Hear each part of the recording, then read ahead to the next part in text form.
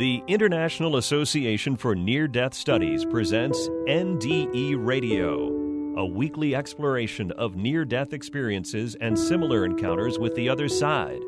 Now, here's your host, Lee Witting. Welcome to NDE Radio. I'm your host, Lee Witting. Our guest today, the Reverend Dr. Norma Jennings Edwards, was born and grew up in British Guiana. Writing on music and consciousness in the July 2008 of Spirit magazine, our guest today, uh, Reverend Edwards, quoted Pythagoras, the fifth century philosopher, as saying, There is geometry in the humming of the strings, there is music in the spacing of the spheres. And Reverend Edwards asked, Are we as aware also that each of us is a living symphony of frequencies, a harmonious note in all creation? And that all life is rhythm. She phrased that as a question. But the young Norma did not come to that understanding easily. As she says in the first page of her book, Awakening, her life was designed to evoke drama even while she was still in her teenage mother's womb. The daughter of an unmarried 16 year old, the pregnancy caused turmoil in the community and eviction from their community church. The pastor read Norma's mother and father out of the church and to add to the pain, they were read out by the baby's grandfather, who happened to be the pastor of that Brethren church. A powerful spiritual sign attended her birth since she was born with a cowl, a white membrane covering her face. The midwife told her parents a caul was considered sacred by the elders, that this child was born with a special purpose and with the ability to see into the spiritual as well as the physical worlds. There were heavy rains and floods happening during her birth, and for eight days following, flood, flooding towns and villages in the area. And the elders voiced their beliefs that the heavens opened up to usher a seer into their midst. Growing up, Norma was somewhat shy, a dreamer who loved nature and only wanted to be treated like other children her age. She renounced her ability to see auras, and when it was prophesied she would be a pastor, her unhappy reply was that she just wanted to be a teenager. Her father was a school teacher, one of only eight certified school teachers in the country. He encouraged her to read, which was good since the probing spiritual questions she thought about seemed to annoy the pastors she went to for answers. Her book details the wisdom keepers she met along the way in her life. A surrogate grandmother told her her grandmother's stories of life in Africa and life as slaves.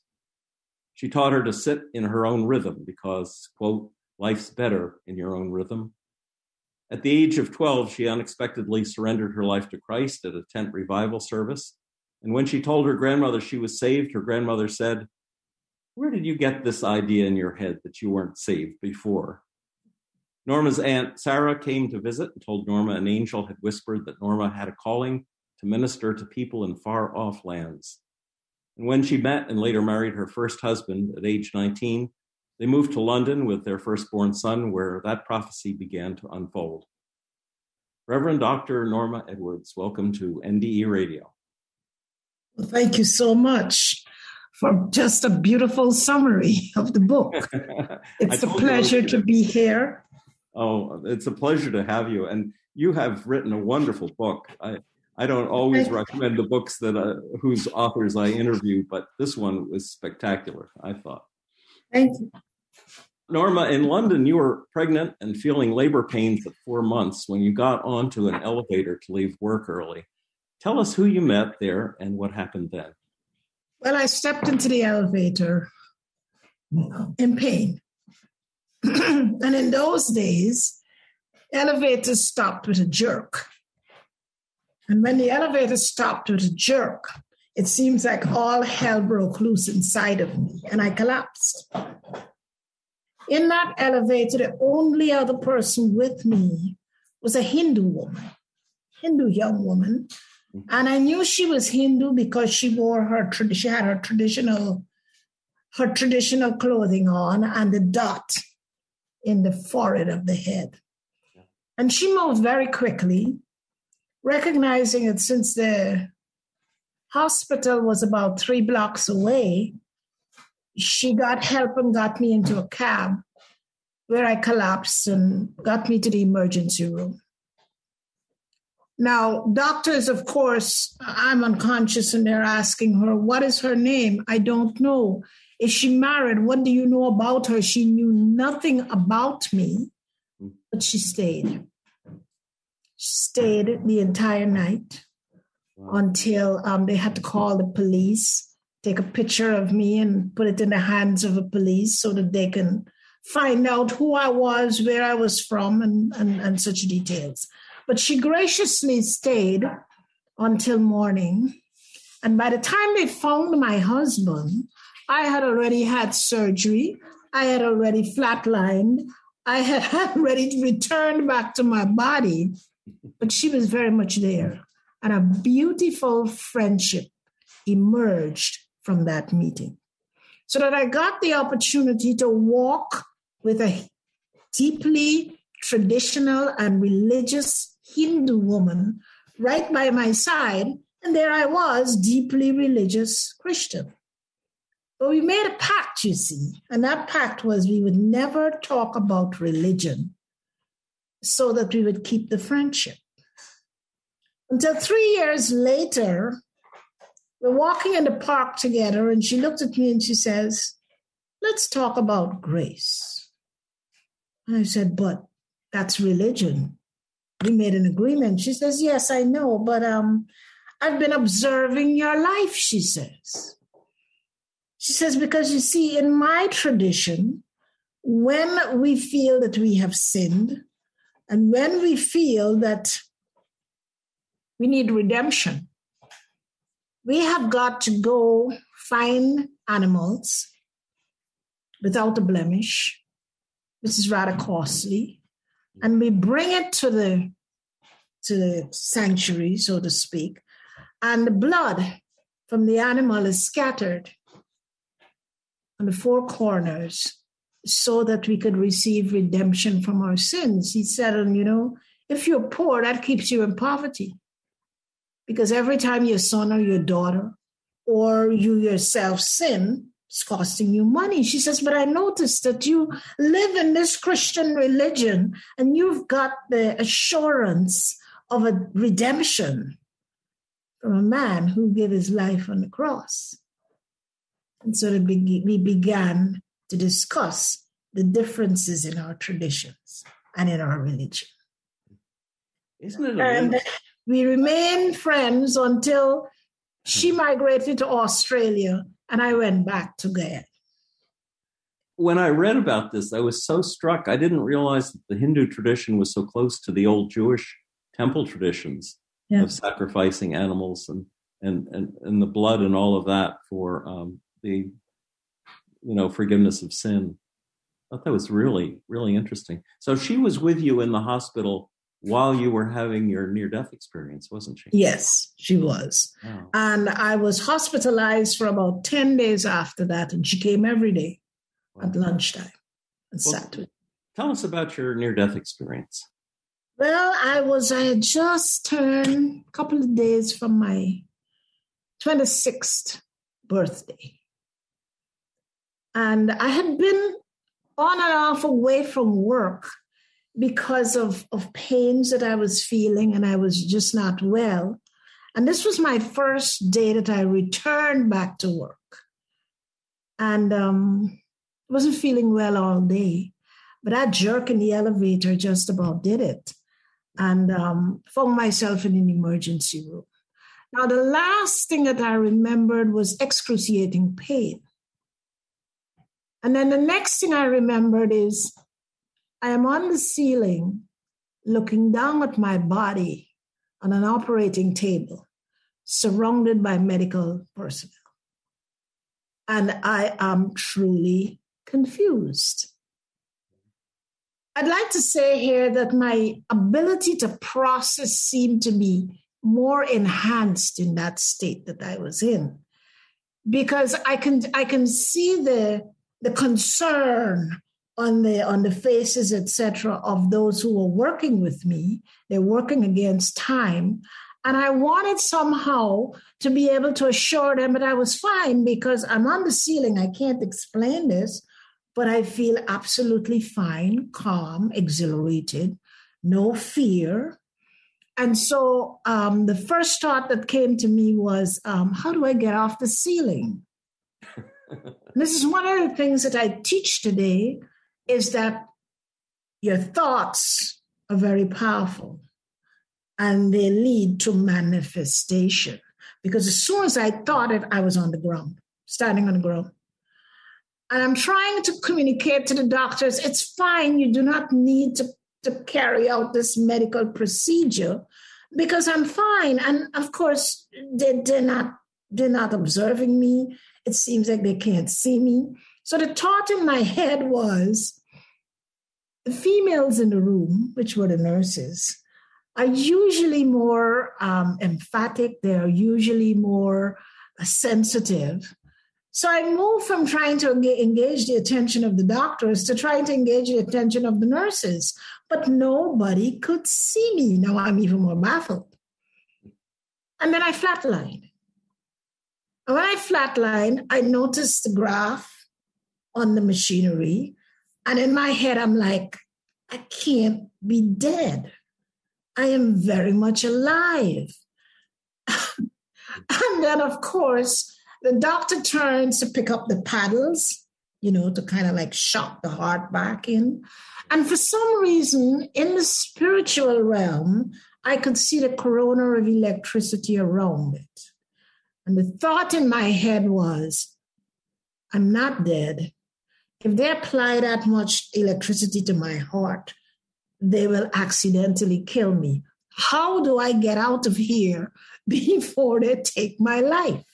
And with that thought, I found myself through the ceiling and into an extremely dark tunnel. The darkness was so deep, I could feel it in my soul. And I'm traveling through this tunnel, I'm halfway through the tunnel. A light appears, a speck of light, and it begins to oscillate and get larger and larger. And of course, my all of my attention got drawn to the light and I'm moving swiftly through this tunnel. And then I, it's like I come around a curve and I could see this phenomenal crystal clear white light before me. The thought in my head was if I survive this, I'll probably lose my eyesight because the velocity of the light before me was so strong, I figured it would burn the corona out of my eyes and then I merged. Lee, there are no words in any language to describe the joy, the serenity, the peace as I merged with the light. And in merging with the light, I was very aware that I had become love. It's as though I kind of understood that whatever spark of love I was carrying inside of me had just been tremendously expanded. Can you imagine that?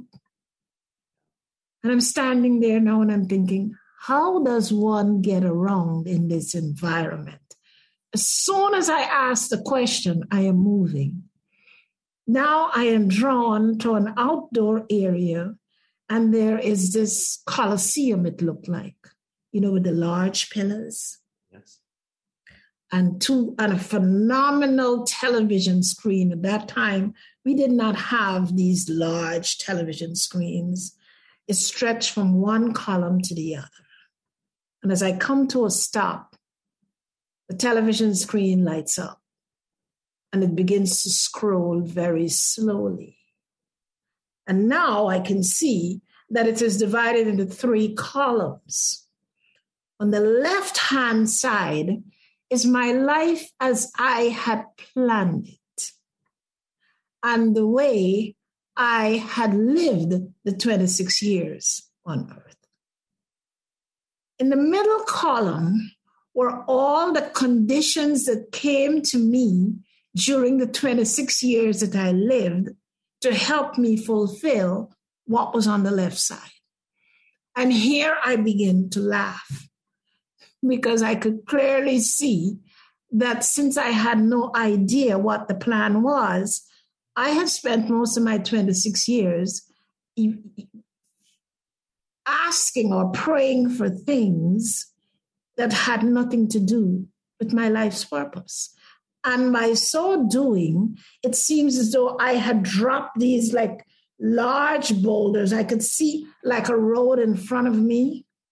And it's as though every every at every so many steps, I can see a boulder being dropped in my way, which means I have to slow down now and I have to figure out whether I can I have to climb over the boulder or I have to go around it. Does that make sense?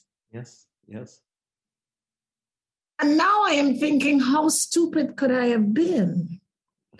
Because somebody taught me how to pray. However, they didn't teach it to me correctly. Because all of my prayers as a young person was I wanted to succeed in life, I wanted to be rich in life. And those were the things that I was praying for. And guess what? Most of them got manifested. The manifestation was now in my way because when I look at column one, I had not been praying to manifest the destiny that I came with. Does that make sense? Another thing that I noticed at the record is that we cannot, we don't get paid twice for whatever it is we do in this world. And while it is true that we have to make a living and we have to use our skills and our initiative in order to make a living, when we get paid for doing the job on the job, we're paid in the earth's uh, money compensation. The blessings come to us, I saw it in the record, when we give ourselves freely and we are not paid for it, then the universe has to pay us. And the blessings that come in that payment are infinitely more powerful because they have more to do with our the plan that we came with and fulfilling that plan. Am I making sense? Yes. Jesus said we those who get their rewards on earth, like the rich man, don't benefit like those who do not. I saw it in the record. I saw it in the record. And so on the, the far side, the last column now was very interesting because it looked as though someone had created a stamp, and the stamp said, Objective not accomplished. Objective not accomplished. Objective not accomplished. And now I'm standing there feeling like a fool because this is the way I planned it. Here were the opportunities that were given to me. I messed up. And in 26 years, I had not accomplished anything in my in my life's plan. Now, when I was a child, as you read in the book, I had a tremendous amount of questions, biblical questions, because I spent all of my childhood in church. And so I'd been walking with a number of um, questions that pastors couldn't answer. But the one that haunted me the most was that piece of scripture where Christ said, I came so you can have life and have it more abundantly. And I said to the pastor, but people have been dying ever since. What does what did he mean? Was he lying, or is there more to life than we know? That one got me into trouble. My mother decreed that I should never again ask a pastor another question because I was embarrassing the family. I'm asking questions they can't answer. Well, the screen I'm standing before in my near death experience begins to re-scroll. And now they have dropped six past lives into the screen. And I'm now reviewing seven lifetimes. And boy, was that an eye opener.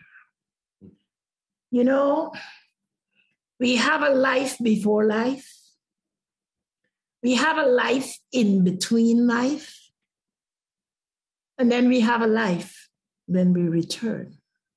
And I saw that quite clearly as the screen began to rescroll. I saw myself in very ancient times when the earth had no electricity and we really walked with torches. I saw myself living in dire, dire, dire poverty with no hope. I saw myself in, in biblical times at the when Moses was pulled out to the bulrushes. I was one of the women who was there. I saw myself as a ruler with pomp and ceremony and power. I saw myself as a male. The lifetime that I brought back with me and probably contributed the most to my growth and my development was I saw myself as a child picking cotton in the fields in America as a slave child. And I'm bent over picking cotton, and I could hear the, the hooves of the slave master as he's coming along the line, and I can hear the whip when it hits the, the back of a slave. And I'm scared, I'm afraid, because when he gets to me, I'm only a child. I can't meet the quota. When he gets to me, I'll feel the whip on my back. And then they move the lifetime to the next lifetime. And here I am, and the slave master on the horse, working that whip. We're all one. We come from the same source. We have different lifetimes, we have different experiences. But that one I brought back with me and contemplated deeply on it, which led me to the eight spiritual teachers I talk about in my book. And among them were four serious pastors.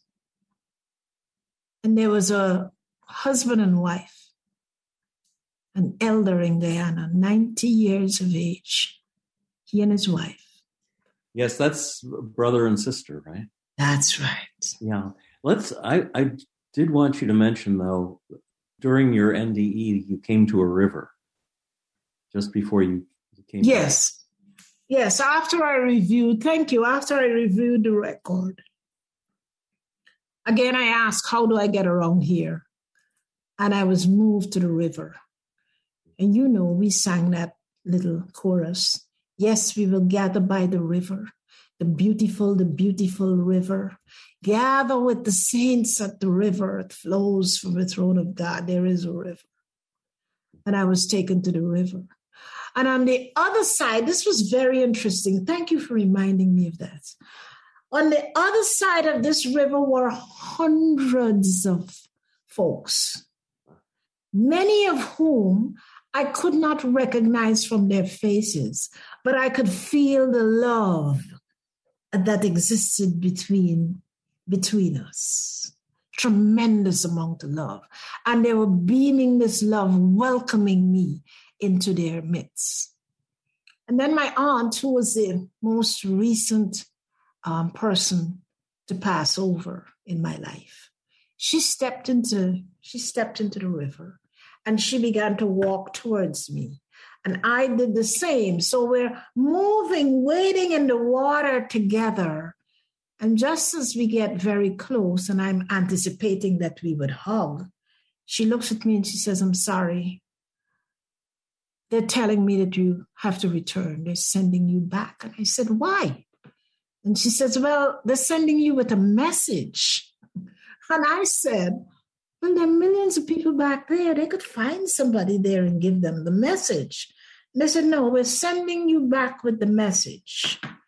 And the message is there's more to life than meets the eye. Life is eternal. And with that, I found myself falling, falling, falling at the speed of light, and literally crashed into my body, who was, that was still under anesthesia. But in that moment when I crashed, I came awake momentarily. The pain, the ultimate this body that we reverence so much and we dress it up, it's not a pretty sight. And it certainly is not very comfortable when the spirit enters the body. It was cold, it was clammy, it was smelly. And that all that wonderful energy of love and light and resilience and hope and joy disappeared when I entered the body. Now it's time now to readjust. For the next three days, I was completely out of sorts. I suspect because today I can I can get out, in and out of the body quite easily. But I suspect because I crashed into the body, it just completely put me out of on alignment. It took about three days, feeling very, very, very unaligned and not comfortable at all in the physical body. But when I opened my eyes, there were two nurses. I was in a recovery room, and there were two nurses sitting at a table. And I guess they were observing me. And they had a radio between them, and was playing classical music. And as I opened my eyes, I discovered that I could see the notes. I could hear the notes, but I can see them. Every note is tied to a color. Every color is tied to a number. Every number is tied to a mathematical symbol, and they're all moving in unison.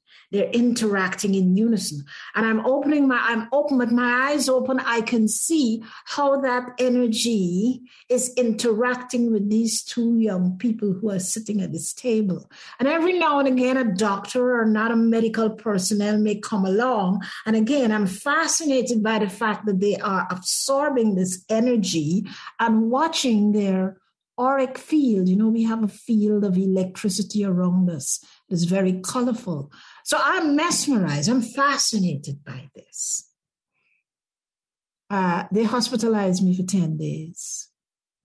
And it took that much time for me to get over my absolute, absolute distress at being sent back from a place of love and joy and harmony to face a world that it seemed to me that was completely unaligned.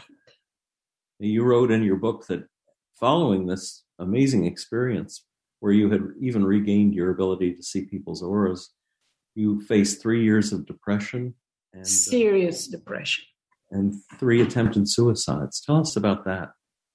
Well, of course, once we have gotten the taste of living love as we truly are, it's very depressing to come back to this world. Yes. And the depression came because now all of my desire is to return to this beautiful, wonderful place that I experienced. But I have a son, I have a family, and now I'm kind of ashamed of the fact that I want to, I'm, I'm comfortable with leaving my family behind and going to the other side, you see. That held me in depression for a long time. At the third attempt, uh, I got very even more depressed at the fact that I couldn't even kill myself. After the third attempt, I was hauled back to the other side in a dream the dream state. And there I was met by a team of nine, nine uh, guides, I guess. You call them that. And they let me know quite um, categorically that they will not entertain me attempting to take my life again. And that if I did, and I succeeded, they would only slam me back into a baby's body and send me back, which would make life even more difficult because I'd have to learn how to walk, to talk, and etc. etc. That the way I was returned as an adult into an adult body was infinitely better for me to finish out my purpose. From that point onwards, my desire really was to return if only one if only for one experience. And the other desire was to find the truth. The third attempted suicide. You were saved by your son in a remarkable way in a remarkably symbolic way. Tell us a little about what he he showed you. Well, this was a day when I, you know, us women, if we're gonna die, we have to clean the house first. so I cleaned the house, I cooked dinner, and I got myself ready, you see, because I had taken the time to determine from a friend of mine who was a nurse exactly how many pills I needed to really make this thing happen. And um, I, I, I fed my son and I sent him outside to play. And um, I got into the bathroom and I'm standing with a glass of water in one hand, the other hand is the pills. And I'm saying my last prayers before I leave. And I'm asking God that He will take care of my son while I'm gone. And he comes running into the house. Mommy, mommy, mommy, mommy, mommy, look what I found. The excitement in his eyes, the excitement in his voice. And when he opened his hand, what he had in his hand was a, a butterfly emerging, halfway emerging out of it, it was just amazing. But I looked into my son's eyes and I saw the excitement. He says, Mommy, Mommy, look, look, look, the butterfly is coming out of this worm. And the thought in my head said, And who would explain to him the mysteries of life? I turned my hands down and let the pills go in the toilet, followed by the water. And I picked myself up, picked my son up, and I took him to the park. And it was just one of those absolutely amazing days. I call that my second rebirth. That was my second rebirth. That's, My son is now in his 50s. And every birthday, I remind him that he brought me back from a point of suicide. there was another story you tell in your book. You were on a bus and you said your brain shifted. and, and in the process, answered a nagging question How does the soul on the other side prepare for entry? Tell us what you learned from that. yes, that, that was very that oh that one was, and of course we lived in England at the time, and um, on a double decker bus, and I um, by this time now I'm meditating. You see, I know how to meditate, and I can sit still and I can get out of my body, and I made a shift, and I was out of my body and um, I was carrying my second son. And um, there I was, and I made a journey up through the dimensions. And there was my son's soul, and he was putting his life together. Absolutely amazing. We we we we we first of all, I didn't realize that um, we we select our parents. Regardless of how horrible they are or, or how beautiful they are we make the selection based on the lessons we need to learn. And so the soul takes a look at maps. There are many maps. There's maps of the universe. There's maps of the earth. They look at the lineage and the ancestry of these people that they would like to to um, be their parents. And, and initially, when they're looking, they're looking at more than one couple, you see. And they're looking at lineage, they're looking at heritage, they're looking at ancestry, and they're looking at how that is aligned to the part of the earth where they would like to be born. And when they find, when they think they have found a couple, when he, he thought he had found a couple that he wanted to request, because you request of your parents whether or not they would agree to parent you. And um and then once you once you you you, you find them you speak to them in spirit they are in the physical body you are in spirit the being wanting to be born but you find a way through the dream state to to make the request. And i also saw that sometimes uh, they a soul may decide they want to be born through the lineage of, let's say, their father, the one person they want is their father. And when they make the request, the father may say, I have other plans for when I'm on earth. But if you would, would, would agree, I would parent you, I would father you, but someone else. You'll have to pick someone else to raise you. So I watched him put this life together. I watched him put the obstacles that he needed in the life. I watched him put together the places where he will be resilient enough to come through. It, it was a phenomenal thing to observe and to really understand. You know, Pastor, no, I'm going to call you Pastor here. We got to stop this thing about the devil. We put adversity in our lives because we know from the other side that that's the best way we will learn. Adversity teaches wisdom.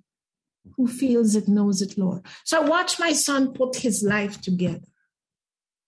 And I watched him promise me that if I can get past the fear, work on putting the fear aside, together we will make the birth very simple and very easy. I had 30 minutes labor, and my son came into the world. And I went back to sleep in a hospital bed and woke up like all the other people in the hospital. The interesting thing about that journey, though, was of course, I was out there and I was fascinated by everything I was observing and understanding. When I opened my eyes, the bus had come to the terminus. All the passengers were gone. They had called an ambulance because they couldn't wake me up. and they were about to put me, you know, put me onto the ambulance. And I opened my eyes and I said, No, I'm fine, I'm fine, I'm fine. Yeah, I don't need to go to the hospital. I'm perfectly fine. It took me to the hospital anyway and ran their tests, etc. But it was an awesome experience. Yeah. And it's a wonderful teaching story because not only do we reflect on how children put their lives together before they're born, it's how we put our life together before we were born. It gives us a mirror to look at. Um, you know what was amazing about that story is my son just got married that son just got married. Oh, congratulations. I watched him live the life that he put together on the other side. And in watching him, I was able to not get as panicked. See what I'm saying? When adversity came along. For a variety of reasons, you and your husband and family decided to go back to uh, British Guiana. And when you got there, you were looking for a teacher. No, I wasn't looking for a teacher. I, I, I think a teacher found me. I had questions. And I, by then, I was quite clear that pastors could not answer yes. the questions that I had. He but found there, me.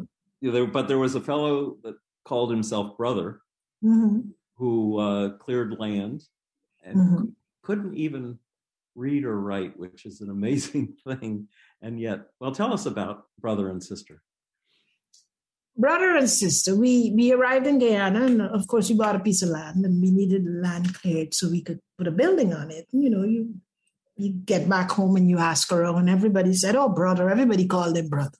Mm. Or brother is the ideal person that you need. And and when we showed up for this meeting with brother, we realized that brother was at the time, I didn't think he was 90. I thought he was probably 70 going on 80. And I'm thinking, but this is an old man.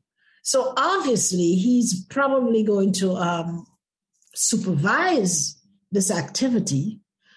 And um, so we hired him. And then the very first day, my husband sent me out because he had to go to work. He sent me out so that I can go take a look at what the crew looked like. And when I got there, the crew, it was himself and I think his great, great, two great, great grandsons. And I was like absolutely amazed. But it was the sacredness, the reverence that you felt in, in his body, in just watching him move. There was something about him that that that I was intrigued by. And then, of course, when I watch him, I mean, work right alongside these two younger men, where did all that energy come from in a body that old, you know? And so I became so fascinated that I would um, I would get in the car during the day and I would just show up, you know, to observe the work that was taking place. And um, I think the very first time that I engaged him in conversation was when I watched him. It was lunchtime, and he carried this little bag, a little handmade bag, and it was lunchtime, and they stopped to have lunch, and they had dug a water hole, and he went and he washed his hands and he washed his face, and he dried it, and then he opened this bag, spread a towel out, and put a Bible on top of it and I thought that was very strange. And um, I think that was the first first question I asked. Do you always take a Bible everywhere you go? And he says, Yes, you got a problem with that? but see, by this time I had this burning question of who I am. Because now you can you have to understand that now I've got the ability, I can get out of my body and I can travel. And, and that was not in keeping with Christian teaching. You know what I mean? So I'm asking this question Who am I? What have I become? Is this good? Is this bad? And, and, and this burning question surfaces in my mind every time I see him, you see. And um, finally, I asked the question. When I asked the question, he said to me, um, but before I before I asked him the before I asked him that question, uh, I had this thing about a question about where did the two wives, women that Adam and Eve sons married, where did they come from? I walked with that one for a long time. Nobody can answer me. And some people were giving me some answers that were not. You've heard some of those answers. And so I asked him the question, and he threw his head back and he laughed uproariously. Now I'm feeling kind of stupid, you know? And I said, Well, this is a silly question. He says, No, but where did Eve come from? And I said, Well, it tells you in the Bible. God put Adam to sleep and took a rib. And he says, Well, what makes you think that God went on to the business of making women. he said, You see, the Bible could not hold all, all the experiences that happened in the world. So somebody had to be very careful about repetition. He said, so they were assuming that we were sensible enough to know that if he made one woman, he could make more. And the answer seemed so natural to me that I was like, damn, now I could see why he was amused that I'd been walking with that question for so long and nobody could answer. so he took me to his wife so she can help me with the understanding of who I am. So that's a woman's question. So he took me to his wife. And his wife, as you read in the book, said to me, um, oh, go on home. We'll come next Saturday and to your home and we'll talk about this. And what she did was put me through an experience that put my children through these days, my grandchildren now.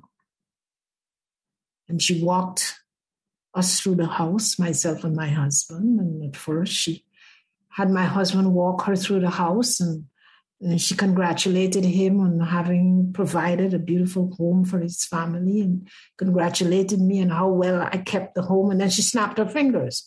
When she snapped her fingers, she brought seven other elders with her, female.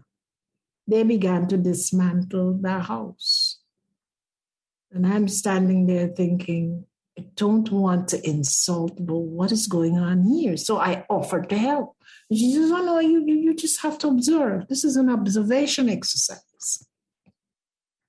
And then the women began to unhang the um, art on the wall, to call the pictures, pull the, the, the, the, the furniture into the middle of the room. And, and I had I had a thing in those days about crystals, you see. And I had a whole display of crystals in my living room that was sitting on the beautiful controlled light. So you can imagine when you walk into the room, is all this crystal and um, there's all this light. You see, it was like a blaze of light. Or they dismantled that very carefully, put on the floor. And they moved through each room and did the same thing until they came uh, to the, the room that we used as a, as a, as a, I guess you could say a library and an office. And on the walls, we had hung all the credentials and the, the nice things that people had said about us on the walls. And they took all of that off and put it on the floor. Now the house looks as though it's ready for movers. And she says, now let's go back to the living room and start start this process again from the beginning. And as she walked me through through each room, she did with the same words. I can't, she said, tell you who you are. You have to find that out for yourself. What I can do for you is teach you who you are not and all the stuff that you have amassed and gathered is not who you are. And you will have to engage a journey that will take you inside so that you will come to know who you truly are. And then when she was finished, or when she got to the when she got to the office, she threw her head back and she laughed and she says, and you know, this is not who you are right here right now. This is what people say you are. And they were willing to vouch for that by putting it into writing, etc. She says, but now you are going to have to live, try to live your life in keeping with these laudable words.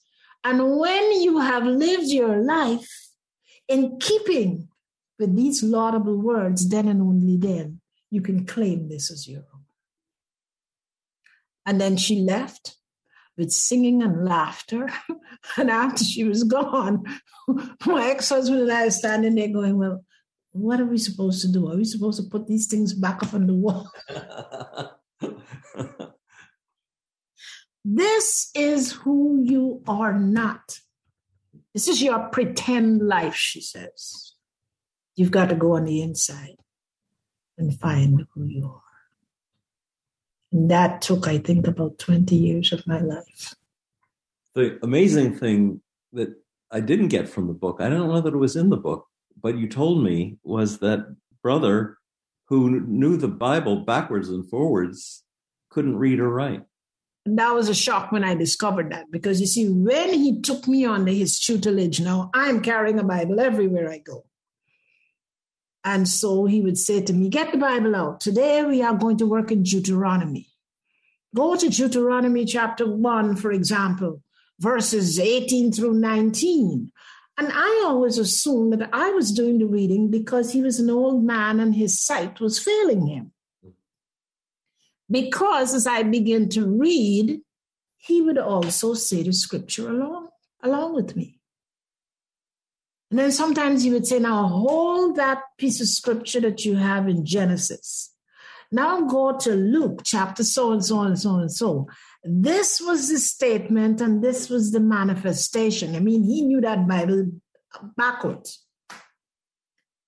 So throughout the time that I interacted with him and his wife, of course, there were people we would say in this world that they were in poverty I discovered that I was the one in poverty. I was impoverished spiritually.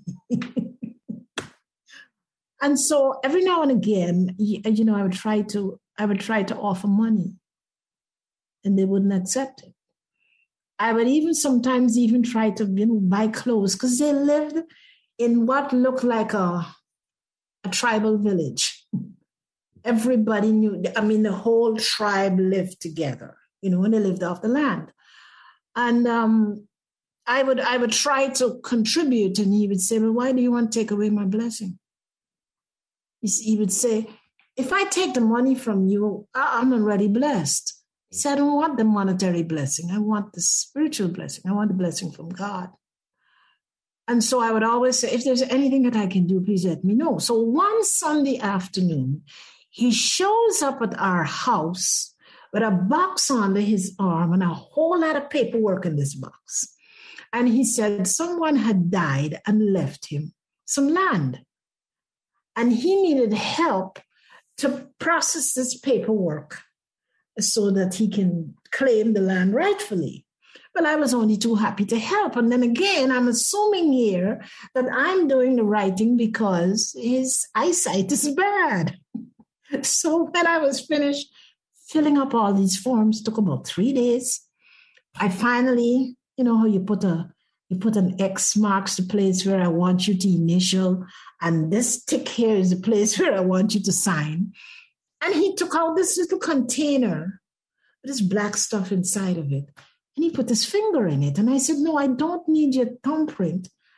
I need your signature. And he looked at me and says, I can't write. I said, What do you mean you can't write? But you can read very well. And he says, I can't read either. And I said, Well, how in the world do you know the Bible as well as you do? And he said, When I was a child, I knew that the Bible was a very sacred book. And I he said, very few people around me could read. And even in church, you had one person who could read the Bible, and even the pastor could not read the Bible. He said, but I wanted to be able to understand the Bible and to know for myself what was in that, what was in there. So he said, from childhood, I began to sleep with the Bible open on my, I would sleep on my back. And I, I began with opening the Bible at Genesis, and I would put it on my chest and put my hand over it to protect it.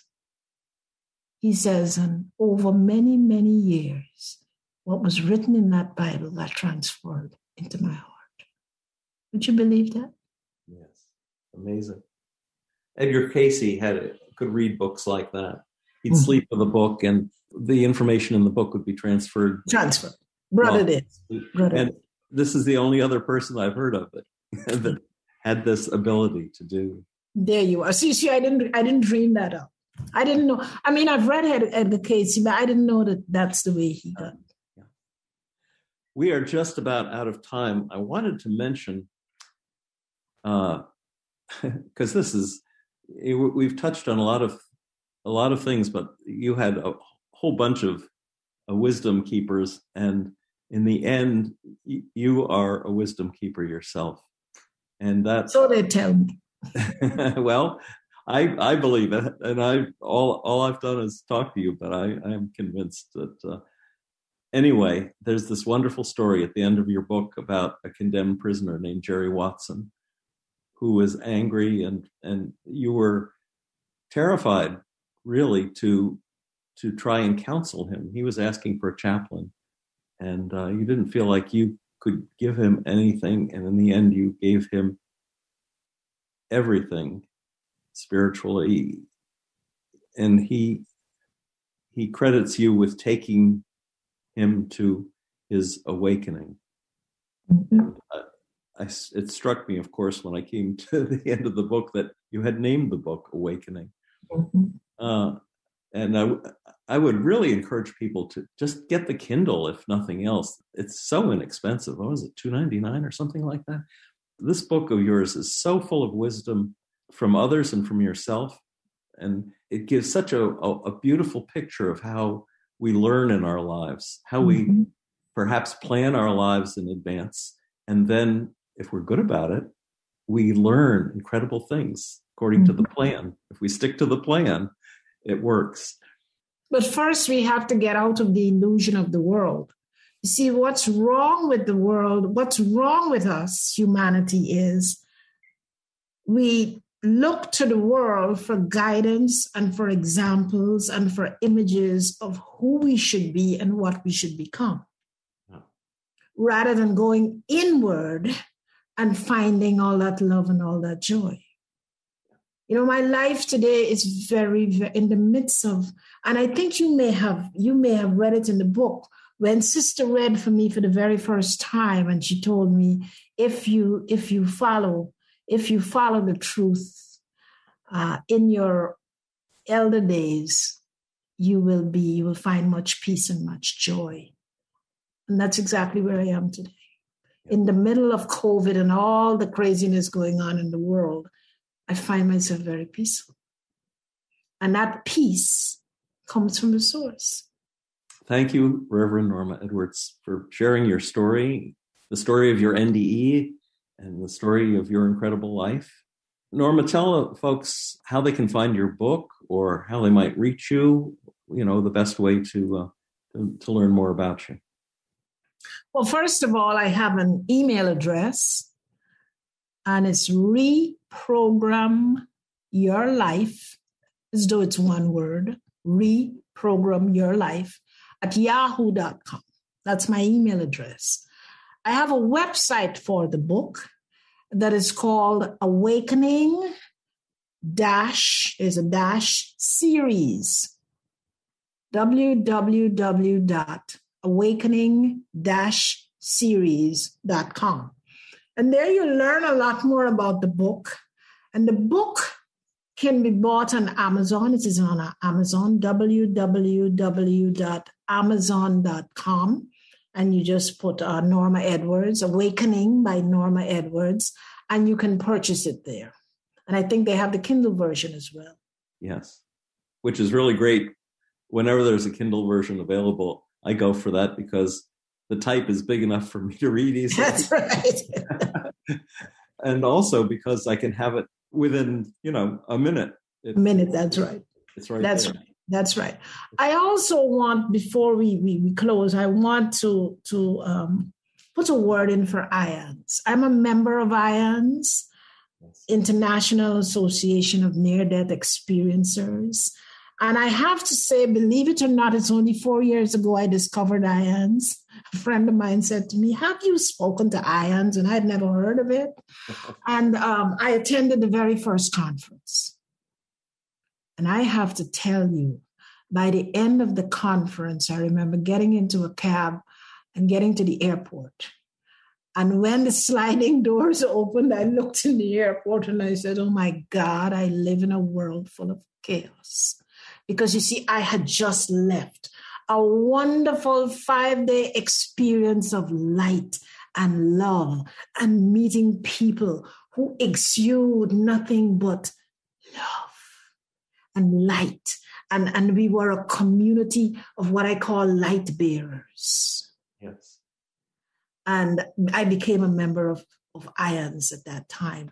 And I'm very impressed with the research they're putting behind their dead experiencer. I'm very, I'm very impressed with the opportunities that they're offering us near death experiencers to share our stories and to answer questions and to enlighten the world and and I really really would recommend them.